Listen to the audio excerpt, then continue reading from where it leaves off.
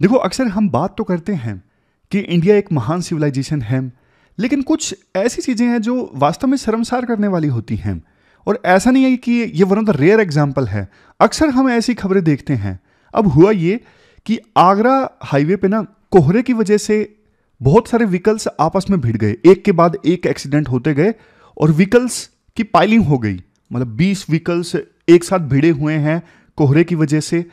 लेकिन देखो, ऐसी सिचुएशन में अब एक मुर्गियों की गाड़ी थी, वो भी भिड़ गई, उसका भी एक्सीडेंट हो गया।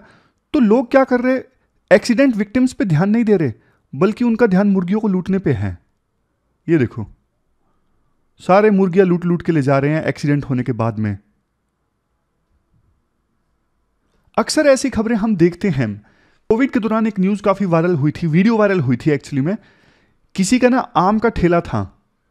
और ना उस ठेले से, वहाँ पे वो मौजूद नहीं था दुकानदार तो आम के ठेले से सारे आम लूट लूट के ले जा रहे थे। और वो काफ़ी वायरल हुई थी वो न्यूज़। बाद में बहुत से लोग सामने आए थे उस आम वाले की मदद करने के लिए कि कोविड का टाइम है और लोग इस प्रकार से किसी ठेले वाले के आम लूट के ले जा रहे हैं। देखो, जो चीज़ ना हमें दूसरी सिविलाइजेशन से सीखने की आवश्यकता है, वो सीखनी चाहिए। सीखने में कोई शर्म नहीं है। अक्सर ऐसी वीडियोस वायरल होती हैं, जैसे जापान की कि किसी के ना बाइक पे कोई जा रहा था, उसकी ना बहुत सारी सब्ज़ियाँ गिर गई एक्सीडेंट की वजह से। तो हम ऐसी वीडियोस अक्सर देखते हैं ह्यूमैनिटी वाली कि आने जाने वाले लोग जो हैं वो व्हीकल रोक के मदद करते हैं, जिसकी सब्ज़ियाँ गिरी हैं और पूरा हेल्प करते हैं, तब तक कि सारी सब्ज़ियाँ सड़क से उठा ना ली गई हों। तो शायद आपने भी देखी होंगी ऐसी वीडियोस और देखो, सही बताऊँ तो ऑनेस्टली अगर हम एनालाइज करें तो इंडिया में भी ऐसे केसेस हुए होंगे। ज़ाहिर तौर पे इंडिया में भी मदद करने वाले लोगों की कमी नहीं है। लेकिन देखो, फिर भी जो चीज़ सीखने की आवश्यकता है, जिन भी लोगों को, वो हमें उन्हें सिखानी चाहिए। और एक महान सिविलाइजेशन के निर्माण करने में हमें बहुत सारी चीज़ें जहाँ भी सीखने की आवश्यकता है, वहाँ हमें सीखनी चाहिए। बजाय इसके कि हम ये बोले, नहीं, हम कुछ नहीं सीखेंगे। ऑलरेडी हमारी सिविलाइजेशन महान है। एक फ़ेमस डायलॉग है ना, कोई भी देश महान नहीं होता। महान उस देश को बनाना पड़ता है। और कौन बनाता है? देश के सिटीजन्स बनाते हैं। सिटीजन्स जैसे हैं, वैसा ही देश होगा। डेट आज की उनतीस दिसंबर है। अब तो देखो, सिर्फ़ दो दिन रह गए नए साल आने में। आप बताइए, नए साल का आपका क्या प्लान है? और आने वाले दो दिन आप कैसे बिताने वाले हो? तीस, इकतीस। नया साल जब भी आता है ना, एक नए मौके के समान आता है कि अब तो देखो लाइफ में कुछ बढ़िया करेंगे। तो जो भी आपके मन में चल रहा है, आप बताइए। कुछ हम भी सीख सकें, बाकी लोग भी सीख सकें। इश्यूज़ देखो, आज हम तीन डिस्कस करेंगे, बढ़िया बढ़िया। सबसे पहला आर्टिकल आज हम डिस्कस करेंगे। इंडिया रशिया रिलेशन से संबंधित। हमारे विदेश मंत्री रशिया की यात्रा पर हैं। दूसरा आर्टिकल बहुत ज़बरदस्त है। इंडस्ट्रियल पॉलिसी से संबंधित। काफ़ी एनालिसिस वाला आर्टिकल है और तीसरा आर्टिकल है आज हमारे देश के हायर एजुकेशन सिस्टम से संबंधित। कुछ लोगों ने ये पूछा था, हिंदी वालों ने कि एथिक्स की बुक कब आएगी? देखो 31 दिसंबर के लिए मैंने पुश किया था पब्लिकेशन वालों को, लेकिन उन्होंने टारगेट मीट नहीं किया। अब कह रहे हैं कि 10-15 दिन और लगेंगे। तो जैसे ही वो तैयार हो जाती है, मैं आपके साथ शेयर करता हूँ। और जो इंग्लिश वालों के लिए है, वो तो पहले ही शेयर कर दी थी, आप टेलीग्राम चैनल पे जाके वहाँ से डाउनलोड कर सकते हो। प्री देखो, नज़दीक है, बहुत सारे नोट्स आपको मिलेंगे और कोशिश पूरी होगी कि हिंदी वालों को और इंग्लिश वालों के लिए बराबर ही मिले। जैसे उड़ान मैगजीन्स आने वाली हैं, पूरे साल के करंट अफेयर्स के नोट्स आने वाले हैं। बहुत कुछ आने वाला है। आपको भी लगता है कि किसी चीज़ के नोट्स आपको चाहिए, जो प्री के लिए यूज़फुल होगा तो आप कमेंट बॉक्स में बता सकते हैं। मैं पूरी कोशिश करूँगा आपके लिए नोट्स बनवाने की। तो चलिए डिस्कशन स्टार्ट करते हैं। इसके बाद नेक्स्ट आर्टिकल इंडिया और रशिया रिलेशंस से संबंधित हैं। आप जीएस पेपर सेकंड के इस टॉपिक से आर्टिकल को रिलेट कर सकते हो। देखो, जब देश आज़ाद हुआ था ना तो यूएसए का ज़्यादा टिल्ट ना यूएसए का ज़्यादा झुकाव पाकिस्तान की तरफ़ था। और यूएसएसआर इंडिया के रिलेशंस अच्छे थे। कश्मीर के मुद्दे पर यूएन सिक्योरिटी काउंसिल में यूएसएसआर ने काफ़ी बार इंडिया का साथ दिया। यूएसएसआर ने उस समय इंडिया की मदद की थी, इंडस्ट्रीज़ इस्टेब्लिश करवाने में। और देखो एक चीज़, इंडिया ना नॉन अलाइन मूवमेंट में था, नैम में था। इंडिया कहता था, ना हम यूएसए की साइड है, ना हम यूएसएसआर की साइड हैं। और यूएसए ये कहता था, ये जो नैम है ना, एक प्रकार का ढोंग है। या तो कोई देश हमारे साथ है या फिर हमारे विरुद्ध है। बीच का रास्ता कोई देश नहीं अपना सकता। इसलिए ये नैम नैम कुछ नहीं है, ये फर्जी है। बट इस प्रकार की बातें ना यूएसएसआर ने नहीं बोली। यूएसएसआर ने इंडिया को बोला कि आप नैम में रह के हमारे साथ थोड़ा बहुत कोऑपरेट करना चाहते हो, कर लो। हम आपको फोर्स नहीं करेंगे कि आप नैम को छोड़ो। इसी का नतीजा हुआ कि 1971 में यूएसएसआर के साथ फ्रेंडशिप ट्रीटी साइन हुई और इस ट्रीटी ने एक बड़ा रोल प्ले किया 1971 के युद्ध को जीतने में। हमारे विदेश मंत्री एस जयशंकर ने एक बहुत इंपॉर्टेंट स्टेटमेंट दी।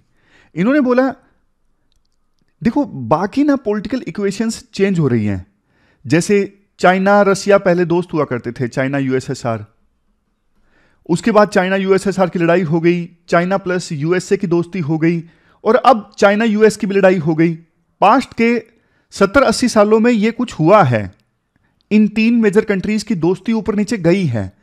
लेकिन ना वर्ल्ड पॉलिटिक्स में पिछले बहुत सालों से एक चीज़ कांस्टेंट है, वो है इंडिया रशिया रिलेशंस बहुत सारे वार स्टार्ट हुए, बहुत सारे वार खत्म हो गए, लेकिन इंडिया रशिया की दोस्ती कांस्टेंट चल रही है, वैसे की वैसे ही चल रही है। यह स्टेटमेंट अपने आप में काफ़ी इंपॉर्टेंट है। अभी देखो, पाँच दिनों की यात्रा पर गए एस जयशंकर, रशिया में। आमतौर पे हॉलीडे सीज़न से पहले, रशिया में इतनी बड़ी बड़ी यात्राएँ किसी फॉरेन ऑफिशियल की होती नहीं है। और एक इंपॉर्टेंट बात, रशिया के राष्ट्रपति पुतिन ना विदेश मंत्रियों से ज़्यादा नहीं मिलते, लेकिन उन्होंने एस जयशंकर से मुलाकात की। पुतिन मिलते हैं अपने बराबर के लीडर्स से, जैसे प्रधानमंत्री मोदी से, बाइडन से, यानी लीडर से मिलते हैं, विदेश मंत्रियों से वो कम मिलते हैं। बट इस विज़िट के दौरान उन्होंने विदेश मंत्री एस जयशंकर से बात की। तो ये भी अनयूजुअल था, असामान्य। इससे पता लगता है कि रशिया इंडिया को कितनी तवज्जो देता है। अब दूसरी चीज़ देखो इंडिया रशिया रिलेशंस में ना काफ़ी सारे कंसर्न्स इमर्ज हो रहे थे। जैसे आपको पता है इंडिया रशिया से बहुत सारे डिफेंस इक्विपमेंट्स परचेज करता है। लेकिन रशिया का यूक्रेन के साथ युद्ध चल रहा है तो रशिया ये सारे डिफेंस इक्विपमेंट्स अभी इंडिया को नहीं सप्लाई कर पा रहा है। और इंडिया को ज़रूरत है। ये तो देखो, एक कंसर्न है। जैसे आप एग्ज़ाम्पल भी देखिए S four hundred air system unit अब इसके लिए रशिया के साथ हमारा एग्रीमेंट साइन हो गया है बट इसकी डिलीवरी रशिया नहीं कर रहा है, बहुत डिले कर रहा है डिलीवरी को। एक और चीज़, अभी देखो वेस्टर्न कंट्रीज़ ने रशिया के ऊपर सैंक्शंस लगाए हुए हैं कि आप डॉलर में यूरो में, इन करेंसीज में ट्रेड नहीं कर सकते।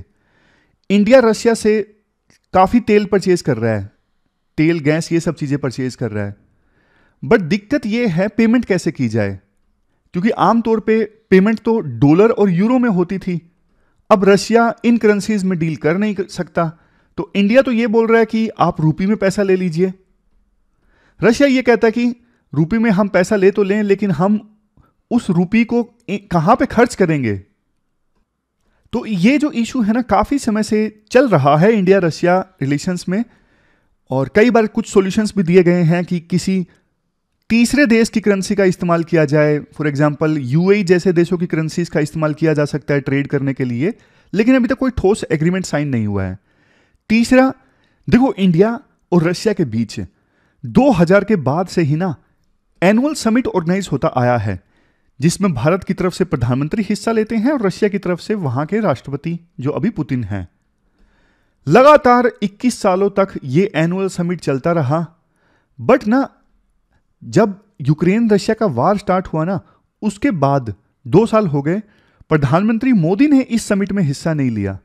ज़ाहिर तौर पे इसलिए नहीं लिया क्योंकि अभी युद्ध चल रहा है और इस युद्ध के दौरान प्रधानमंत्री मोदी पुतिन से मुलाकात करेंगे तो वेस्टर्न कंट्रीज़ इसको नेगेटिव वे में लेंगे। इसलिए उन्होंने अपने विदेश मंत्री को भेजना उचित समझा पिछले दो सालों से। इस बार भी जयशंकर गए हैं। लेकिन एस जयशंकर ने बोला कि अगली बार प्रधानमंत्री मोदी फिर से शिरकत करना स्टार्ट करेंगे इस समिट में। तो यह भी एक कंसर्न था रशिया की तरफ़ से कि मोदी ने क्यों नहीं पार्टिसिपेट किया पिछले दो सालों से। तो देखो, इन सभी कंसर्न्स को देखते हुए ये विज़िट एस जयशंकर की इंपॉर्टेंट थी। एस जयशंकर इन सब इश्यूज़ पे क्लैरिफाई करना चाहते थे और जो नेगेटिविटी थी उसको दूर करना चाहते थे। तो विज़िट पूरी तरह से सफल रही। काफ़ी सारी चीज़ों को लेके सहमति बनी इंडिया रशिया के बीच में, जैसे Kudankulam nuclear power project है। इसमें नई यूनिट स्टैब्लिश करने को लेकर सहमति बनी। कनेक्टिविटी इंक्रीज की जाएगी रशिया और इंडिया के बीच में ताकि ट्रेड को और ज़्यादा इंक्रीज किया जा सके। यूरेशियन इकोनॉमिक यूनियन और इंडिया के बीच में फ्री ट्रेड एग्रीमेंट को लेकर जो बातचीत चल रही थी कुछ समय से ठप पड़ चुकी थी, इस बातचीत को फिर से रिवाइव किया जाएगा। सबसे लास्ट में ज्वाइंट मिलिट्री प्रोडक्शन रशिया और इंडिया दोनों मिलकर को प्रोडक्शन करेंगे हथियारों का, जैसे रशिया के पास टेक्नोलॉजी है। तो रशिया उस टेक्नोलॉजी का इस्तेमाल करके मैन्युफैक्चरिंग करेगा इंडिया में। इन चीज़ों पर सहमति बनी। वैसे देखो, इंडिया रशिया के बीच में ना कोऑपरेशन तो चलता रहता है। यूएन में क्या स्टैंड लिया जाए, उसको लेके इंडिया और रशिया आपस में कंसल्ट करते हैं। ब्रिक्स जिसमें पहले पाँच मेंबर हुआ करते थे, अब टोटल ग्यारह मेंबर हो गए हैं। एक्सपेंडेड ब्रिक्स का समिट अगले साल रशिया में ऑर्गेनाइज होगा। ब्रिक्स में भी कोऑपरेशन चलता है इंडिया रशिया के बीच में। लास्ट में राइटर ये कहते हैं, देखो, इस मौके पर रशिया में विदेश मंत्री की विज़िट एक प्रकार से सिग्नल भी देती है वेस्ट को कि आप हमें ना ग्रांटेड नहीं ले सकते। जैसे ना इंडिया यूएस रिलेशंस में ना कुछ कंसर्न्स देखने को मिले अभी, जैसे पन्नू इन्वेस्टिगेशन को लेके। ऐसा लगा कि जैसे पन्नू के मुद्दे पर ना यूएस जो है इंडिया की टांग खींच रहा है। यूएस का इनडायरेक्टली इंडिया के ऊपर आरोप है कि इंडिया ने पन्नू को यूएस की धरती पर मरवाने की कोशिश की। भैया, पहली तो बात चलो इन्वेस्टिगेशन होगी। दूसरा, आप इंडिया को अपना दोस्त बोलते हो। अगर इंडिया की जगह यूके होता इसराइल होता तो तब भी क्या आप इस प्रकार की बातें पब्लिक डोमेन में रखते? आपने सारी तो चीज़ें लीक कर दी। लीक होने के बाद में इंडिया एक प्रकार से हुमिलिएशन का सामना इंडिया को करना पड़ा। आपको ऐसा नहीं करना चाहिए था। दूसरी चीज़ रिपब्लिक डे के मौके पे बाइडन को इनवाइट किया गया था। बाइडन ने मना कर दिया। उस लिहाज से देखो, ये जो जयशंकर की विज़िट है ना रशिया में, इसको नोटिस किया जाएगा यूएस समेत दूसरे वेस्टर्न कंट्रीज़ में और चाइना में भी। तो ये हमारी थी इस आर्टिकल की डिस्कशन इंडिया रशिया रिलेशन से संबंधित। चलते हैं आगे। इसके बाद नेक्स्ट आर्टिकल देश की इंडस्ट्रियल पॉलिसी से संबंधित है। इंडियन एक्सप्रेस का आर्टिकल है, आप जीएस पेपर थ्री के इस टॉपिक से आर्टिकल को रिलेट कर सकते हो। देखो 2014 में जब बीजेपी की सरकार आई तो make in India programme launch किया गया। मेक इन इंडिया प्रोग्राम को लेकर ना बहुत सारे एक्सपर्ट्स ने डाउट भी व्यक्त किया। कहीं ऐसा तो नहीं कि हम 1970s और 80s के युग में वापस जा रहे हैं। क्योंकि मेक इन इंडिया मतलब आप इंडिया में प्रोड्यूस करो। और 70s और 80s में भी इंडिया जो है सेल्फ सफिशियंसी पर ज़्यादा रिलाई करता था।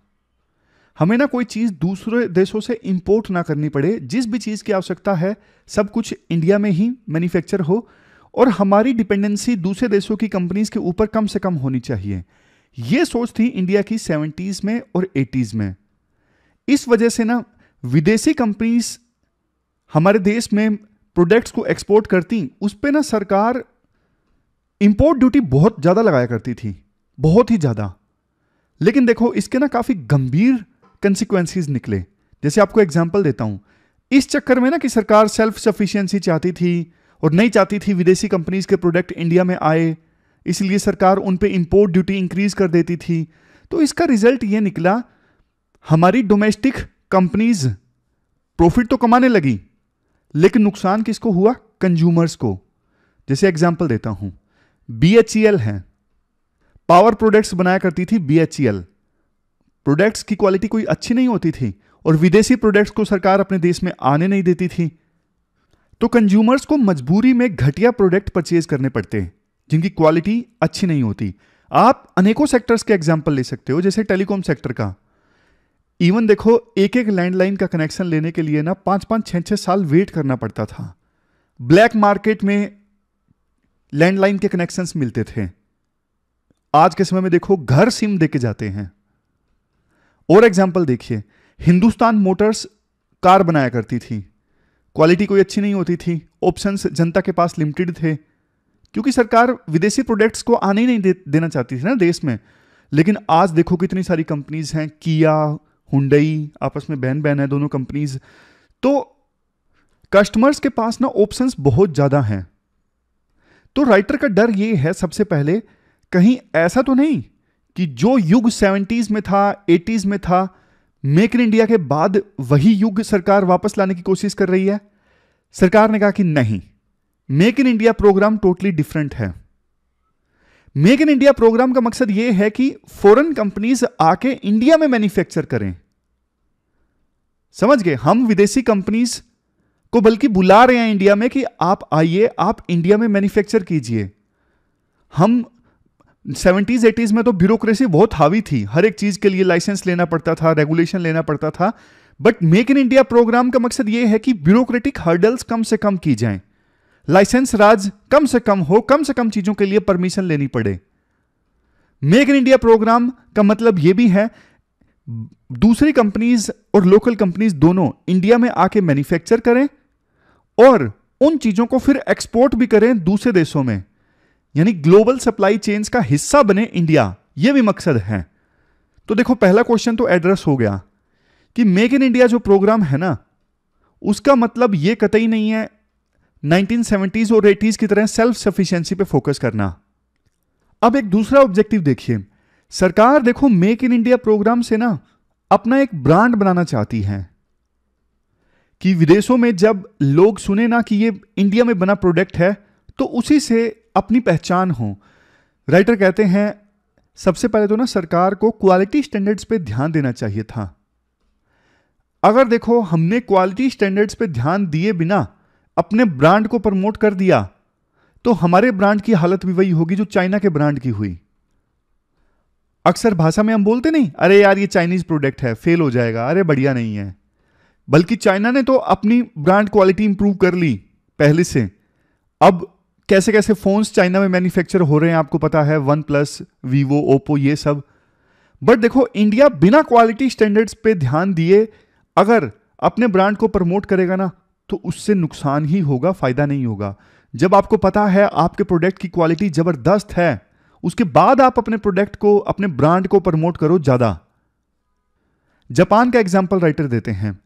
अब जापान में ना इतना ज़बरदस्त क्वालिटी पे ध्यान दिया गया है, जैसे टोयोटो कंपनी है, कि लोगों का ना विश्वास हो गया कि जैपनीज प्रोडक्ट है तो अच्छा होगा। यूएसए समेत दूसरे देशों में जैपनीज प्रोडक्ट्स के लिए बहुत ज़्यादा रिस्पेक्ट है। एक बार एक कहावत है, मैंने पहले भी आपको बताई थी। जैपनीज कंपनीज़ ना सबसे खराब है मार्केटिंग में। उनको मार्केटिंग करनी ही नहीं आती। लेकिन क्वालिटी के मामले में ना यूँ बोला जाता है कि जैपनीज प्रोडक्ट्स सबसे बेस्ट हैं। वो इतना ज़्यादा क्वालिटी पे ध्यान देते हैं, इतने ज़्यादा प्रोसेस पे ध्यान देते हैं, इसी से उनकी रिस्पेक्ट है। तो इसीलिए सरकार मेक इन इंडिया ब्रांड को प्रमोट करे, उससे पहले क्वालिटी पे ध्यान दे। और दूसरे नंबर पे है मेक फॉर इंडिया देखो मेक फॉर इंडिया तो ठीक है बट जिन भी देशों ने डेवलपमेंट की है ना, तेज़ी से, जैसे एशियन टाइगर कंट्रीज़ हैं, अपने साउथ कोरिया है सिंगापुर है, ये सब देश, इन देशों ने ना एक्सपोर्ट करके डेवलपमेंट की है। सिर्फ़ डोमेस्टिक ऑडियंस की पूर्ति करके इन देशों ने तरक्की नहीं की, इन देशों ने डेवलपमेंट नहीं हासिल की। जैसे साउथ कोरिया ने इलेक्ट्रॉनिक्स आइटम्स सेमीकंडक्टर आइटम्स को एक्सपोर्ट करके तेज़ी से ग्रोथ रेट हासिल की। उसी प्रकार से ताइवान भी इन्हीं चीज़ों में आगे है। तो मतलब ये जितने भी एशियन टाइगर्स हैं ना, जिन्होंने तेज़ी से डेवलपमेंट हासिल की, इनकी इकोनॉमी ने ग्रो किया, सबने ना एक्सपोर्ट का सहारा लेके ग्रो किया। सिर्फ़ डोमेस्टिक ऑडियंस की डिमांड पूरी करके ग्रोथ नहीं कर सकता कोई भी देश। तो इसीलिए सरकार कहती है मेक इन इंडिया का मतलब यह भी है मेक फॉर इंडिया सिर्फ़ मेक फॉर इंडिया से काम नहीं चलेगा एक्सपोर्ट पे ध्यान देना ही होगा. इसके बाद राइटर बोलते हैं, देखो मेक इन इंडिया प्रोग्राम तो सितंबर 2014 में आया था. अब देखो प्रोग्राम के ना काफ़ी सारे मकसद थे और यह प्रोग्राम लॉन्च किया गया था 2011 की नेशनल मैन्युफैक्चरिंग पॉलिसी के बाद. 2011 में नेशनल मैन्युफैक्चरिंग पॉलिसी आई थी जिसमें यह बोला गया था मैन्युफैक्चरिंग सेक्टर का कंट्रीब्यूशन हम देश की जीडीपी में 25 परसेंट करेंगे और 100 मिलियन एडिशनल जॉब्स क्रिएट करेंगे मैन्युफैक्चरिंग सेक्टर में। यह 2011 में आई नेशनल मैन्युफैक्चरिंग पॉलिसी का मकसद था, क्योंकि उस समय सरकार ने यह बोला कि 1980s के बाद से ही मैन्युफैक्चरिंग सेक्टर का कंट्रीब्यूशन देश की जीडीपी में बढ़ा ही नहीं है कांस्टेंट हो गया है। लेकिन जब सरकार चेंज हुई तो थोड़ा और एग्रेसिव प्रोग्राम लॉन्च किया गया मेक इन इंडिया 2014 में। और ज़्यादा विदेशी फर्म्स को इनवाइट किया गया, उनको इंसेंटिव्स का लालच दिया गया। बट देखो ना, अब सरकार को ना दोनों पॉलिसीज़ का, चाहे वो 2011 की मैन्युफैक्चरिंग पॉलिसी हो या फिर 2014 का मेक इन इंडिया प्रोग्राम हो, दोनों को ना सरकार को इवेल्युएट करके डेटा पब्लिक के सामने रखना चाहिए कि दोनों प्रोग्राम कितने सफल साबित हुए हैं। कहाँ पे दिक्कत हो गई है अगर सफल नहीं हुए हैं? दिक्कत यह है डेटा की कमी है। ओनेस्ट एनालिसिस सरकारें करती ही नहीं है प्रोग्राम्स का कि कहाँ पे दिक्कत है। हमने ये सोचा था कि मैन्युफैक्चरिंग सेक्टर का कंट्रीब्यूशन इंक्रीज करेंगे। वो अभी तक सफल क्यों नहीं साबित हुआ है? इस मामले में ना डेटा सरकार को पब्लिक के सामने रखना चाहिए और नहीं है तो कंपाइल करना चाहिए। फिर राइटर कहते हैं 2023 में ना मतलब इसी साल के शुरुआत में सरकार ने एक नई मैन्युफैक्चरिंग पॉलिसी का ड्राफ्ट रखा था। दो साल से सरकार ये नई मैन्युफैक्चरिंग पॉलिसी बनाने की कोशिश कर रही थी। ड्राफ्ट जनता के सामने रखा। लेकिन बाद में उसे होल्ड में डाल दिया गया। ये नई मैन्युफैक्चरिंग पॉलिसी नहीं आई। मतलब फाइनली इंप्लीमेंट नहीं हुई। इसी बीच ना सरकार ने मैन्युफैक्चरिंग को बूस्ट करने के लिए ना एक नया स्टेप लिया। प्रोडक्शन लिंक्ड इंसेंटिव स्कीम्स का। सरकार ने बोला फॉर एग्जांपल इलेक्ट्रॉनिक्स इंडस्ट्री को कि आप देश में प्रोड्यूस कीजिए, हमारे देश में, और जितना आप प्रोडक्शन करोगे, उसी के हिसाब से हम आपको इंसेंटिव देंगे। सरकार का मकसद यह था जब विदेशी कंपनीज़ इंडिया में मैन्युफैक्चर करेंगी तो जॉब्स क्रिएट होंगी। इसके साथ साथ टेक्नोलॉजी इंडिया में आएगी और इकोसिस्टम बनेगा मैन्युफैक्चरिंग का। तो सरकार ने एक नई कोशिश की देश में मैन्युफैक्चरिंग को बूस्ट करने की। बट राइटर का पॉइंट यह है, देखो, प्रोडक्शन लिंक्ड इंसेंटिव स्कीम्स है ना। आप क्या करोगे? आप इन्वेस्टमेंट तो अट्रैक्ट कर लोगे, क्योंकि सीधा सीधा आप आप उनको बेनिफिट पहुँचा रहे हो, आप लैंड प्रोवाइड कर रहे हो, अनेकों तरह के उनको कंसेशन दे रहे हो सब्सिडी दे रहे हो तो इससे क्या होगा? मैन्युफैक्चरिंग तो बूस्ट हो जाएगी, लेकिन ना फिर वही चीज़ हो जाएगी जो 1990s में हुई थी जॉबलेस ग्रोथ कि ग्रोथ तो इंक्रीज हुई है मैन्युफैक्चरिंग इंक्रीज हुई है तो इकोनॉमी तो ग्रो हुई है, लेकिन इससे ना जॉब्स क्रिएट नहीं हुई। वही सिचुएशन फिर से पैदा हो जाएगी। तो राइटर का पॉइंट ऑफ़ व्यू ये है, आप ना अभी ऐसी ऐसी इंडस्ट्रीज़ को प्रमोट ज़्यादा कर रहे हो, जैसे इलेक्ट्रॉनिक्स आइटम्स मोबाइल फोन्स की असेंबली इंडिया में होने लगी है बट इनसे ना ज़्यादा जॉब्स नहीं प्रोड्यूस हो रही हैं। अगर आपको production linked incentive scheme launch करनी ही है ना तो थोड़ा उन इंडस्ट्रीज़ के लिए कीजिए जो लेबर इंटेंसिव हैं। जैसे टेक्सटाइल है गारमेंट्स इंडस्ट्री है, यहाँ पे जॉब्स ज़्यादा जनरेट होंगी। इन पे आप ज़्यादा फोकस कीजिए। बांग्लादेश ने ऐसा कर दिखाया है। बांग्लादेश ने ना वहाँ की गारमेंट्स इंडस्ट्री के लिए स्पेशल इकोनॉमिक जोन स्टैब्लिश किए स्पेशल कंसेशंस दिए तो वहाँ पे ना बांग्लादेश इंडिया के एक टाइम में मुकाबले का था, टेक्सटाइल इंडस्ट्री के मामले में। लेकिन आज बांग्लादेश इंडिया को पीछे छोड़ रहा है, टेक्सटाइल एक्सपोर्ट के मामले में। क्योंकि बांग्लादेश की सरकार ने ना वहाँ की टेक्सटाइल इंडस्ट्री को सपोर्ट बहुत किया है। मशीनरी वहाँ की टेक्सटाइल इंडस्ट्रीज़ ने नई नई ली है सरकार की मदद से। तो इसलिए वहाँ की टेक्सटाइल इंडस्ट्री कॉम्पिटिटिव हो गई है और ज़्यादा जॉब जनरेट कर रही है। तो बांग्लादेश में बहुत ज़्यादा जॉब जनरेट हुई। लेकिन समय रहते हमारी सरकार ने ऐसा कोई कदम नहीं उठाया जिससे कि ज़्यादा जॉब जनरेट हो। नेक्स्ट पॉइंट एमएसएमई से संबंधित है। हमारे देश में 99 परसेंट जो एमएसएमईज है ना, वो इनफॉर्मल सेक्टर में है। उनके पास ना इतना फंड्स हैं एक्सपेंड होने के लिए, ना उनके पास टेक्नोलॉजी है और ना ही स्किल है। तो देखो, जिन एमएसएमईज को फर्दर जॉब जनरेट करनी चाहिए बड़ी बड़ी एंटरप्राइजेस बननी चाहिए, वो नहीं एक्सपेंड हो पा रही हैं। चाइना में जबकि ना चाइना की इकोनॉमी ग्रो हुई, उसमें एमएसएमईज का बहुत बड़ा रोल था। छोटी छोटी फैक्ट्रीज बड़ी होती गई। चाइना में फैक्ट्रीज बड़ी होती गई छोटी छोटी इससे जॉब्स भी जनरेट हुई और उनकी इकोनॉमी भी ग्रो हुई। लेकिन हमारे देश में हम एमएसएमईज को ग्रो नहीं करवा पा रहे हैं। तो राइटर कहते हैं, ये सारे जो पॉइंट्स जहाँ पे दिखते हैं ना, वहाँ पे हमें ज़्यादा ध्यान देने की आवश्यकता है। और ये पूरा आर्टिकल हमने डिस्कस किया। इंडस्ट्रियल पॉलिसी से संबंधित। चलते हैं आगे। अगला आर्टिकल देखो ट्रिब्यून इंडिया का एम से संबंधित है। देखो, ये एक ऐसा आर्टिकल है, पढ़ के हँसी भी आ रही है, लेकिन दुख भी हो रहा है कि हमारे देश में हायर एजुकेशन की क्या हालत है। 2020 में ना नेशनल एजुकेशन पॉलिसी आई थी। इस पॉलिसी में ना यूजीसी ने एम को डिसकंटिन्यू कर दिया था। एम एक एडवांस्ड पोस्ट ग्रेजुएशन प्रोग्राम हुआ करता था, लेकिन यूजीसी ने इसे डिसकंटिन्यू कर दिया। 2020 की नेशनल एजुकेशन पॉलिसी में यूजीसी ने बोला कि यार पीएचडी करने में ना बहुत टाइम लग जाता है। एम करने के बाद तो इसलिए इसे डिसकंटिन्यू कर दिया जाए। सीधा ही बच्चे पीएचडी करें तो ज़्यादा बढ़िया है। लेकिन देखो, आपको भी हैरानी होगी जान के। यूजीसी के डिसकंटिन्यू करने के बावजूद अभी बहुत सारी यूनिवर्सिटीज ऐसी हैं जो एम में बच्चों का एडमिशन ले रही हैं। समझ रहे हो? डिसकंटिन्यू हो चुका है। पिछले साल भी एम में एडमिशन लिए हैं और इस साल भी लेने की तैयारी है कई यूनिवर्सिटीज़ की। तो परेशान होकर यूजीसी ने एक डायरेक्टिव जारी किया है बच्चों को अवेयर करने के लिए कि हम एम नहीं रिकॉग्नाइज करते, ये कोई डिग्री एग्जिस्ट ही नहीं करती है। तो आप एडमिशन मत लीजिए एम में। और यूनिवर्सिटीज़ को भी वार्न किया है कि ये डिग्री डिसकंटिन्यू हो गई है कि आप बच्चों का एडमिशन मत लीजिए, उनका भविष्य खराब हो रहा है, उनका टाइम खराब हो रहा है। आप फ़ीस ले रहे हो उनसे प्राइवेट यूनिवर्सिटीज़ में फ़ीस तीस हज़ार से लेकर एक लाख के बीच में है। ऐसी डिग्री के लिए आप फ़ीस ले रहे हो जो रिकोगनाइज ही नहीं है, जो एग्जिस्ट ही नहीं कर रही है।